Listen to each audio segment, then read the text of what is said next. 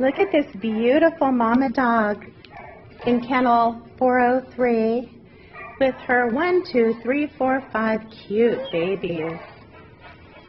They're adorable. She probably needs rescue. I'm going to look for the details now. Look how sweet she is.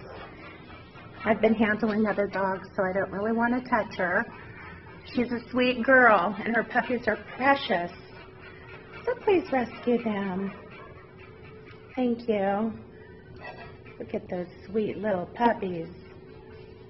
She's a good mom, too. Very good mom. A very sweet girl. Right, Mama? She's very friendly.